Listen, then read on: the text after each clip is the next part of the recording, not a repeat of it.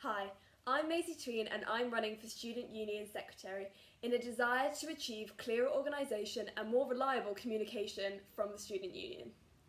Previous positions of responsibility, including head girl at my previous school, demonstrate I can be trusted to achieve. To lay out the necessary steps for everything discussed in meetings, I will introduce a new improved structure for recording minutes. Successful convening of each meeting is vital, so in the case of double booking or any other mistakes, I will make sure another room is available as a backup. As the person responsible for producing and circulating the agenda for each meeting, a skeleton agenda will be emailed to all members and added to the Student Union notice board and intranet. Email addresses available to accept amendments or additions from the student body will accompany this.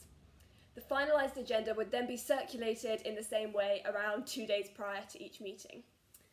To enhance communication with the student body, I will work with the communications officer to update the student union intranet, including more information about events, members and meetings, as the last update was 2017.